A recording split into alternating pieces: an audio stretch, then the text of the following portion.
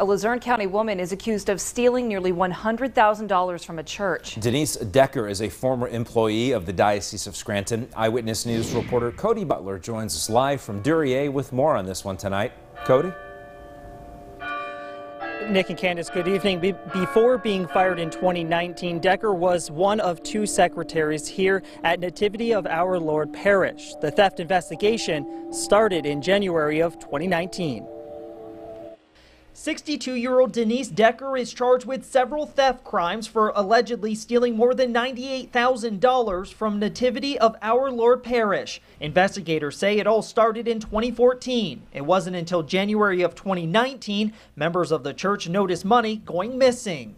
As soon as they realized that may be the case, they alerted the diocese, and we immediately contacted, along with the parish staff, the Luzerne County District Attorney's Office, who launched that criminal investigation.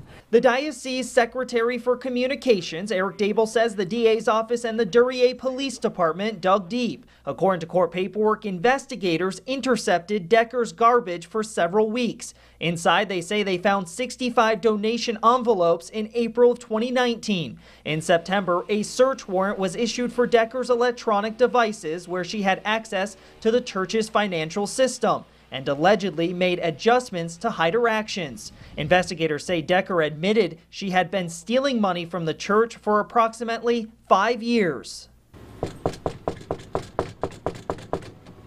We went to Decker's home for her side. As we were walking towards the porch, the door opened and closed. We gave Decker an opportunity with no response.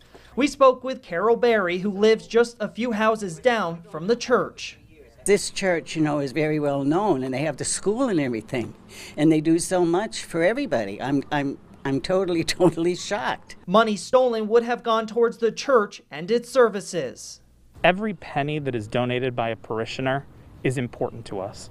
So as this process moves forward, of course, we're hoping for full restitution in this case. Church parishioners are encouraged to ask employees what safeguards are in and have been in place to better understand the policies. For Decker, she was arraigned today and was released on $100,000 unsecured bail. In Duryea, Cody Butler, Eyewitness News.